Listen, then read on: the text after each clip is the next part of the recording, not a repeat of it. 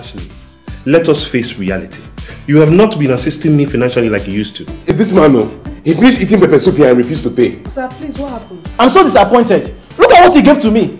He below the standard of this hotel, and there's no I can pay for it. This is not good. We're supposed to be one. Look, I'm not exactly seeing us as one. Considering all the lies you told me. When you have the solution to make it all go away, and you refuse, sell your land and save this family from reproach. How am I supposed to move on knowing that our marriage was built on lies? So you have been announcing to everybody in this hotel that we're not married, right? Even though you have a son for me and we live in the same house.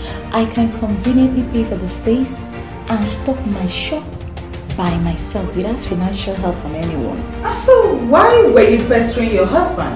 I was only trying to force him to be responsible. The ultimate question is, how are you going to get a job without any academic qualification appropriate for your age? Asunder, brand new drama, airs Saturdays at 7 p.m. on Vox Africa.